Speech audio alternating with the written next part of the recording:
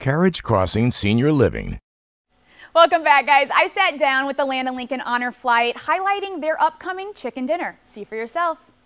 Good morning, Springfield. I'm here today with the Land of Lincoln Honor Flight, and they are here to discuss a very fun upcoming event and also just what the Honor Flight does. So, Kelly and Norm, thanks for joining me today. Huh?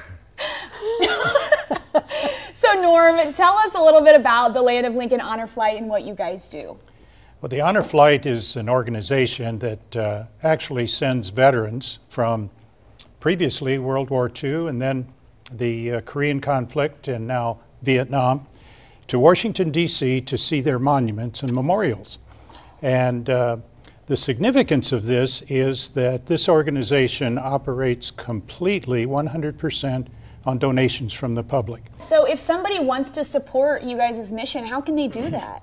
There's really a number of ways. Uh, support uh, donations can be sent uh, directly to the honor flight uh, in care of the board uh, anytime land of lincoln honor flight.org uh, or there are various organizations in the community that from time to time will do fundraisers and one of our purposes in sharing with you this morning is to tell you of a fundraiser that we're doing uh, in the month of September, September 14th. Mm-hmm.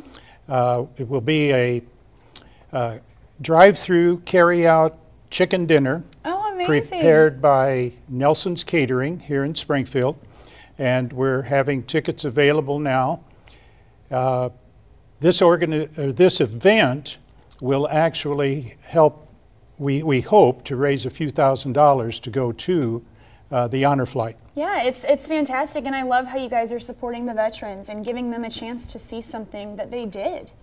Well, when you talk with the veterans who return, it's it's very heartwarming because many of them will share that it's an experience they haven't not had. Many have not had an opportunity to go. Yes. And right now, because the World War II veterans are pretty well gone. Mm-hmm. A lot of the Korean War veterans are older now or they have gone.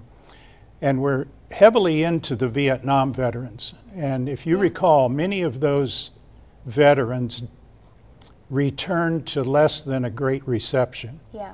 And so this is a way to honor them, show our appreciation for what they did in a conflict that was very controversial. Yes. But uh, to let them know that they are deeply appreciated. Yeah, well, how can you tell me again one more time when the date is for this chicken dinner? The chicken dinner is September 14th. We'll be uh, serving between 4 and 6 p.m. It will be at Bish West, which is on South Koke Mill mm -hmm. Drive in Springfield. Uh, the meal includes a half grilled chicken, mashed potatoes and gravy, uh, green beans, roll, and folks will just present their ticket, pick up their meal, and they can go right on home and have a delicious meal. Well, fantastic. Kelly, thank you guys for joining me. Norm, this is truly amazing, and we'll see you next time. Bye.